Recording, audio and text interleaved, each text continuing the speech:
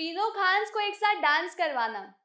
ये सिर्फ़ अंबानी जी ही कर सकते हैं। शाहरुख खान, सलमान खान, आमिर खान को एक साथ लाना भैया सिर्फ़ अंबानी परिवार ही कर सकता है।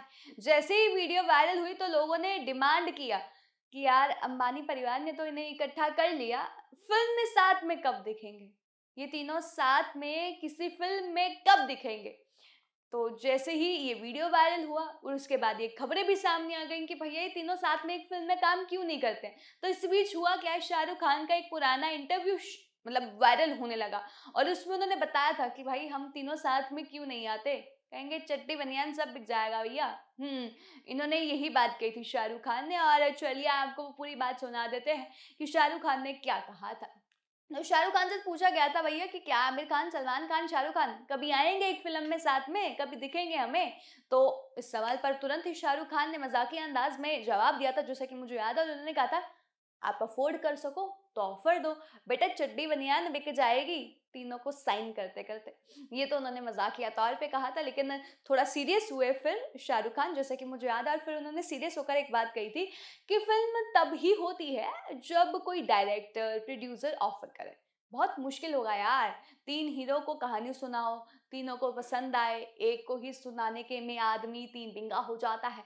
और ये वो हैदराबाद में बोलते हैं। और वो कहते हैं, बहुत मुश्किल होगा यार, लेकिन अगर कोई ऐसी कहानी होगी जहाँ तीनों हीरो फिट हो सकते हैं, कोई अफोर्ड कर सकता है, ऐसी फ़िल्म बना सकता है, हम तीनों को झेल सकता है, एक दस मिनट बाद जवाब देगा, एक आने से पहले चला जाएगा, तीसरा कहेगा कि रात को शूटिंग करो, मैं रात को जागता हूँ।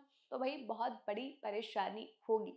तो यहाँ पर शाहरुख खान का एक यही पुराना इंटरव्यू वायरल हो रहा है क्योंकि तीनों को अनंत अंबानी और राधिका मर्चेंट की प्री वेडिंग शादी में आप कह लीजिए डांस करते हुए देखा गया, जिसके बाद कहा ये अंबानी कर सकते हैं। लेकिन फिर ये सवाल खड़े हो गए कि भैया तीनों एक साथ एक मूवी में कब नज़र आएँगे, जिसका फैंस बेसब्री से इंतज़ार कर रहे हैं कि भैया तीनों को साइन करो साइन करो, तीनों को एक फ़िल्म में लेकर आ तो इस बीच अब शाहरुख खान का जो वीडियो वायरल हुआ, वो हमने आपको बताया कि उन्होंने कहा, भैया, बेटा, चड्डी बनियान, सब बिक जाएँगे, तीनों को साइन करते करते। लेकिन उन्होंने कहा कि तीनों को एक ही स्टोरी पसंद आए, बहुत मुश्किल हो सकता है, और तीनों को कहानी सुनाओ, एक आदमी कहेगा, ये टाइमिंग नहीं, दूसरा कहेगा, ये नहीं, एक आने से पहले चला जाएगा। तो बहुत सारी चीज़ें हैं।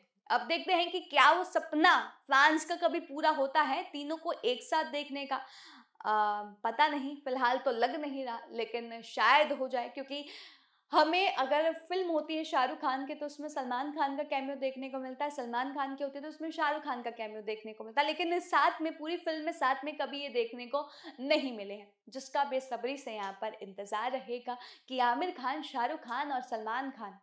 कब एक साथ फ़िल्म में आएँगे और जिस दिन वो साथ में काम करेंगे, उस दिन सिनेमा का माहौल ही कुछ अलग होगा। और इस बात से यकीनन आप लोग भी एग्री करेंगे फॉर श्योर एग्री करेंगे क्योंकि जिस दिन ये तीनों साथ में आए, उस दिन सिनेमा का आप कह लीजिए इन्वायरमेंट ही बदला बदला नज़र आएगा। फ़िलहाल कि आप लोग भी चाहते हैं कि ये तीनों एक साथ एक मूवी में नज़र आए, आपका क्या कहना है? वो हमें कमेंट सेक्शन में ज़रूर बताइएगा और तमाम सर जानकारी के लिए हमारे साथ बने रहिएगा।